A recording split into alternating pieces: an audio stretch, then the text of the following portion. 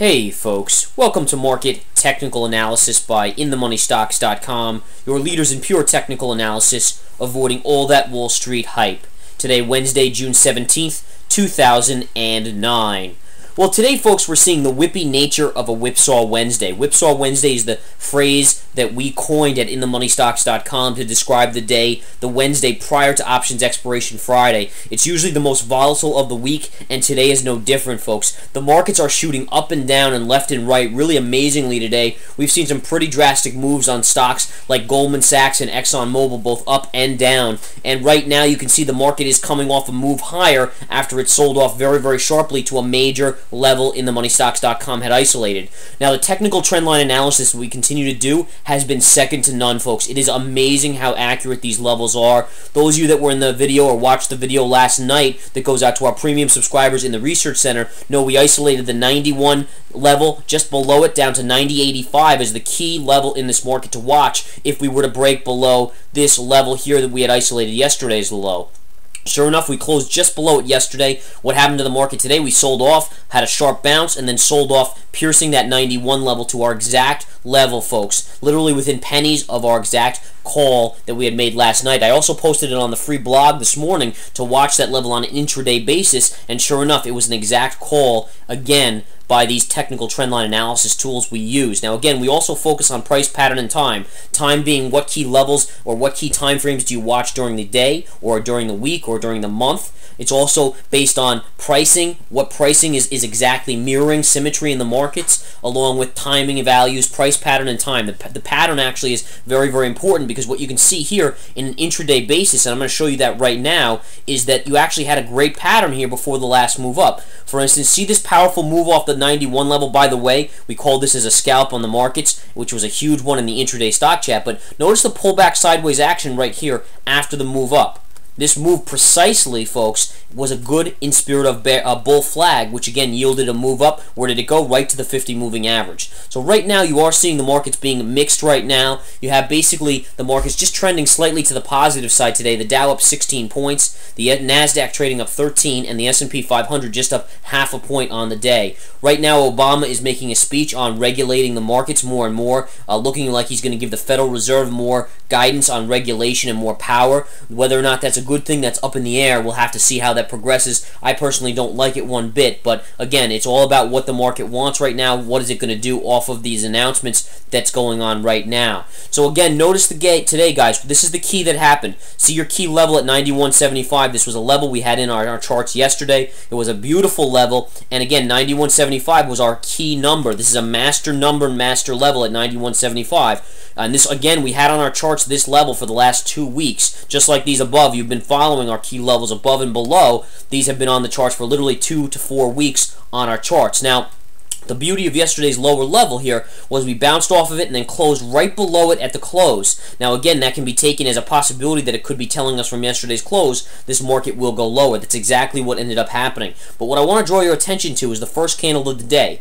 Notice how the first candle of the day punctured that 91.75 level but never closed above it. If it can't recapture that on the first candle, you have to start looking for the downside in this market, and sure enough, that's exactly what happened. And again, notice how a recapture of that line at 91.75 would have told us we were going to go back higher if we had recaptured it. But we did not recapture it. You closed right below it. Then you started to sell. And at that point, it's a pretty good bet. You're going to go test your second master number below at around 90.85 to 91. That 15 cent range, a major, major master number on our levels, folks. And sure enough, what happens? The market comes down hard as, as Whipsaw Wednesday takes fold. You have a two-bar surge to the downside, a sharp bounce, and then a reversal all the way back down and piercing that 91 level. Now, right off of that, and that's our key level, folks, Notice how yesterday our master number was hit, and then you got a nice bounce off of that into the close before you sold off. Notice how today we hit our second master number below, and then you shot right back up in spirit of bull flag, and then shot up to the 50 moving average. So you're noticing how these key levels, the first hits on these key levels, on these master numbers, are yielding huge moves in the market to the upside or the reverse side, I should say.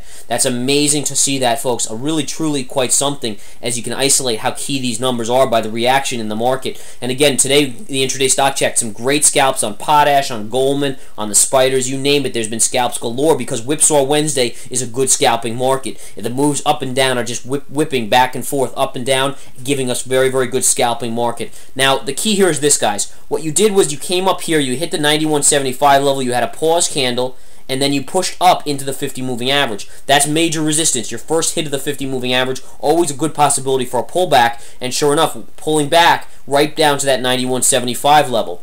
Now the market's right here. The spider's up about 5 cents on the day, beginning to tick down. Ever since Obama really started to speak here, you've seen a little bit of a micro sell-off. We'll continue to follow that. But the question is, if we pull back below this 91.75 level, which we are just briefly below right now, the next support level will be right here on the charts at the 20 moving average. Wherever that 20 moving average is, which currently sits at 91.50, that will be support on the way down. You can see we're starting to sell there a little now. Spiders have just gone negative, back negative on the day. The futures are negative as well. NASDAQ is just up slightly. Oil had actually just gone positive, and now it's moving back below, down about 30 cents on the day. Transports are negative. Utilities are just barely negative. Um, and again, you're seeing basically a mixed market today. NASDAQ is generally strong. You're seeing stocks like Amazon, uh, Apple, Google, Baidu, very, very strong on the day. Apple is flat, Amazon's up 91 cents, Baidu up $8, and Google up $1.50. So overall, technology today is the strong area. Financials have been the weak area. But again, just to go over the key levels on this chart,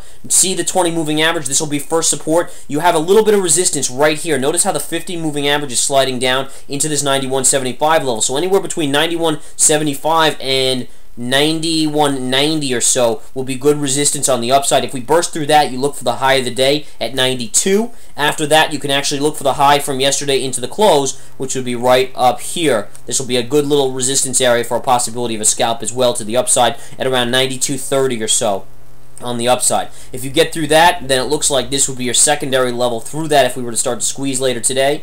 And Again, that would be at 92.70, and then obviously this 93.40 level, which was a master number from a while ago, will be the next spot after that. Downside, as I mentioned, the 20 moving average. After that, you're actually going to possibly retest the lows of the day, just around 91, which will be support down there. Those are your levels on your intraday charts to watch. But again, just watch here as we trade down. So far, this could be a bullish consolidation, but I'm not really buying it quite yet because we'll have to see how the market reacts after Obama is really done speaking here. Uh, he started at 1250. It's now almost 10 after 1, so we'll continue to watch that. But I just want to point something else out, folks. Look at the bounce in the markets here.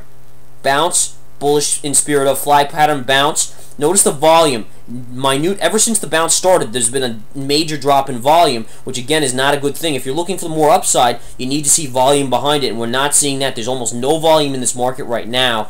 And uh, we had a great volume morning huge volume this morning but it's not seeing follow through midday. So the question is later on today maybe 2 2:30 3 o'clock 3:34 when volume does pick up where does this market go? Do we see a shoot you know back up or because there's no volume on the way up here when sellers come back in the volume comes back in it'll all be in the form of sellers this is is all stuff we're going to have to follow very closely and monitor. One thing I want to post, guys, and just want you guys to note, is Goldman Sachs today was getting crushed, and then when the market bottomed out here, Goldman reversed, and Goldman really led this market up, and I want to show you the bounce on Goldman. Look at this drop on Goldman Sachs. Huge drop all the way down to about 139 and level and then you actually had a huge move up from basically 139 all the way back to 142 on this bounce. That helped get the markets positive, but note as the spiders are selling here, Goldman's leading the charge downward. You can see a nice little drop back on Goldman. But in any case, that was a monster move on Goldman to the upside.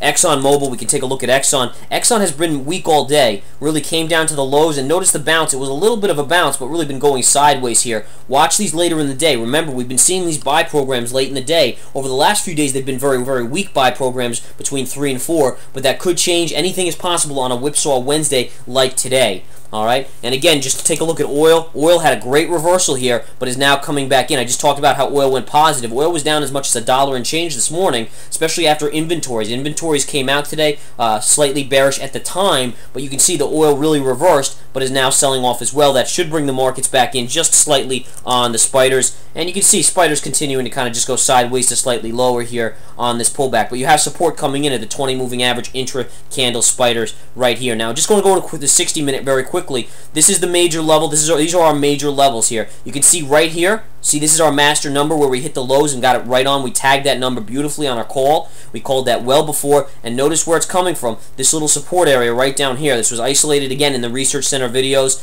Pro Trader Watch List knocked the ball out of the park on Goldman Sachs' call on a bearish side. We actually just took that off the Pro Trader Watch List. Again, join this stuff, guys. Fascinating Research Center chat room. You got to come join. Take care.